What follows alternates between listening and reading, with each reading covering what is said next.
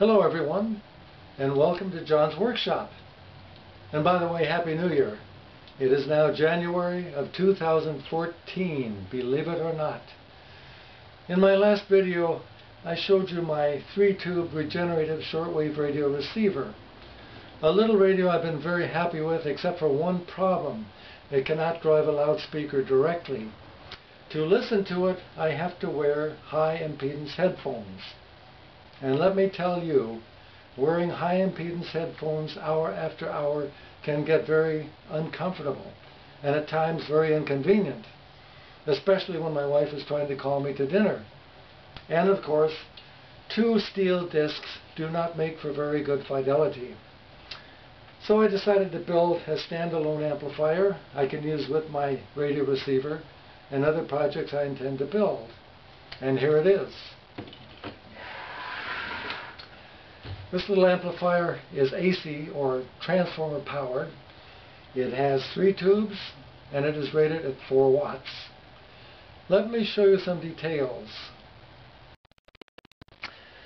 And here are the guts.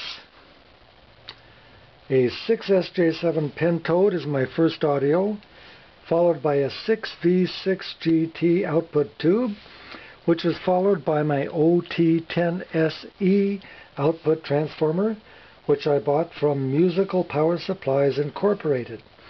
It is a very versatile single-ended transformer.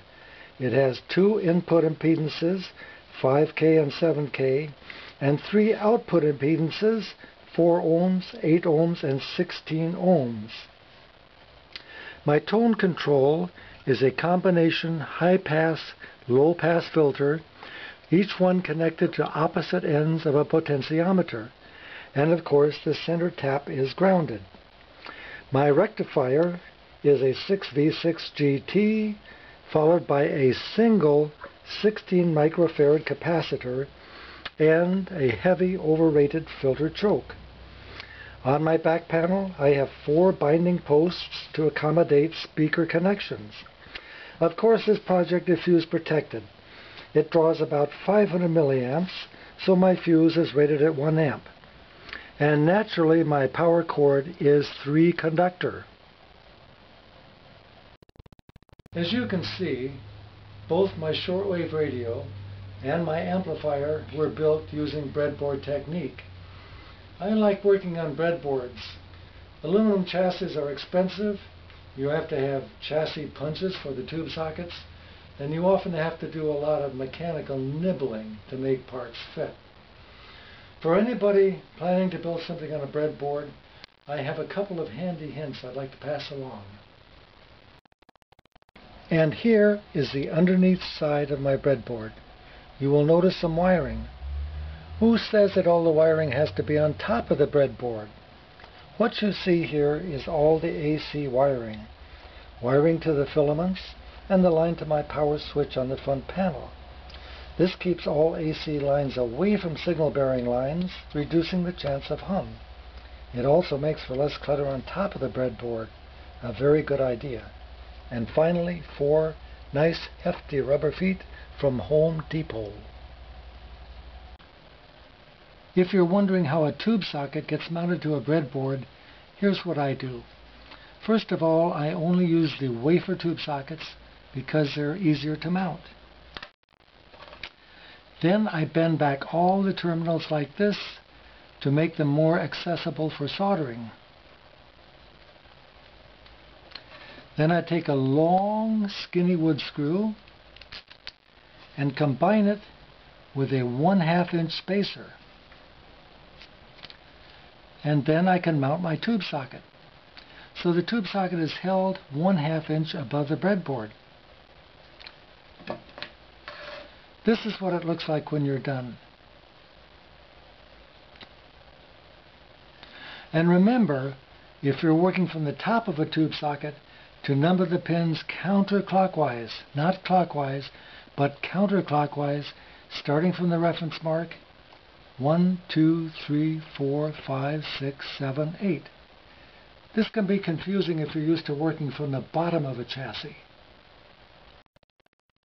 My video wouldn't be complete unless I gave some credit to the publication where I found the plans for my amplifier. Practical amplifier diagrams, and there are 45 of them. Proven circuits for the technician and the experimenter. Original price $2. This book was written by Jack Robin and Chester E. Littman. Copyright 1947 by Austronic Publications of Los Angeles. Who in the world has ever heard of Austronic Publications of Los Angeles?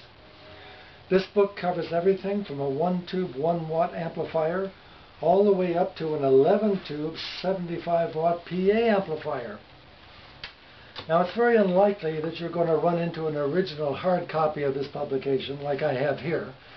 In fact, I found this in Ventura, California in a collectible store called True Blood, which unfortunately is no longer there.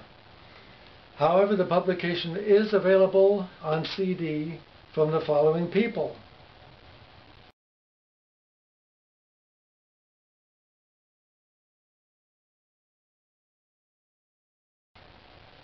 To wrap it up, I'd like to give you a little demonstration of my amplifier.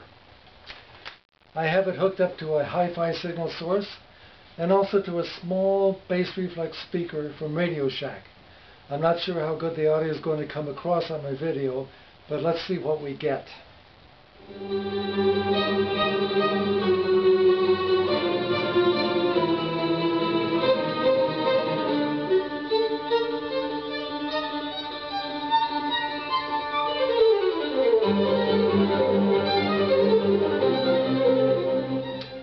Sounds just like Vivaldi's Four Seasons to me. Room filling volume, nice clean sound. What more do you want? Well, that's it for now, folks. Again, Happy New Year, and thank you for listening.